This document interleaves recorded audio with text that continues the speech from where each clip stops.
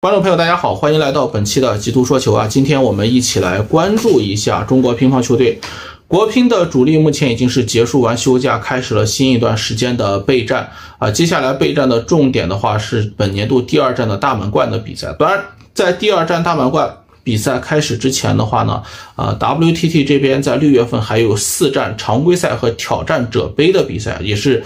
整个 WTT 体系里边最低级别的赛事要去举行，不过对于以一些啊中国女队啊和男队里边排名比较高的啊，但是因为名额限制没有打世锦赛的这些选手来说啊，这些比赛他们也是要积极参加的，因为这样的话可以帮助他们巩固目前积分排名的优势。呃，原本的话，WTT 挑战者杯和常规赛的比赛积分因为比较少，中国队在去年的时候基本上都是派出一些非常年轻的，甚至是二队的队员来参赛的。但是这一次中国队做出了一定的改变，甚至有一些让人感觉到意外的决定。比如说在六月份的萨格勒布站的比赛当中啊，中国女队这边啊派出了目前世界排名第六的钱天一来参赛，这个对于日本队来说将会是一个极大的打击啊。我们知道在去年的萨格勒布站的比赛当中，日本女队的表现是非常出色，包揽了女单和女双的冠军，其中伊藤美诚的话更是拿下了两个冠军，这也让他捞到了相对比较多的积分。这一次日本队依然是派出了早田希娜和伊藤美诚的王牌组合，就是希望能够再次包揽女单和女双的冠军。女双这边的话，可能还是比较有希望，但是女单这边他们将会遭遇到一个非常强大的对手，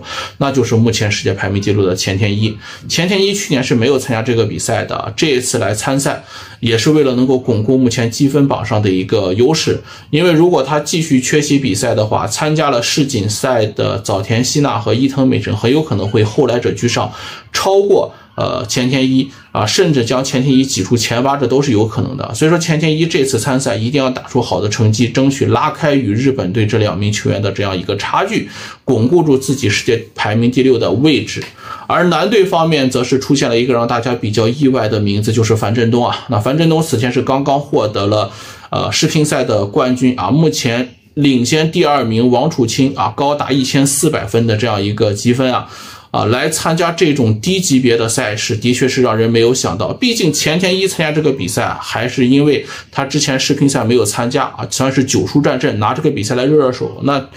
樊振东是刚刚打完世乒赛的比赛啊，其实体能方面的话还是需要一定的休整的。没想到这么快去打这样一个低端赛事，的确是让大家感觉到比较意外。因为在 WTT 的赛事体系里边，最高等级的还是大满贯的比赛，另外的话呢就是这个冠军杯的比赛啊，星球挑战者杯的比赛。当然了，年底的世界杯决赛。啊，这个比赛的积分也是非常高的。这四个比赛是值得中国队的主力去来参加的。像 WTT 常规赛和挑战者杯的比赛，它的积分只有四百个积分啊。中国队，尤其是像樊振东这样的世界排名第一的头号选手，在去年像一战这样的比赛都是没有参加的。去年萨格勒布站的比赛，中国队派出的呃。最高顺位的选手就是向鹏，最终他一路杀进了决赛啊，收获了一个亚军。这次让樊振东降维打击，参加这种低级别的赛事，其实也是有另有内情的。因为，呃，樊振东啊，在二零二一年年底的时候也是拿到了世乒赛冠军的。接下来啊，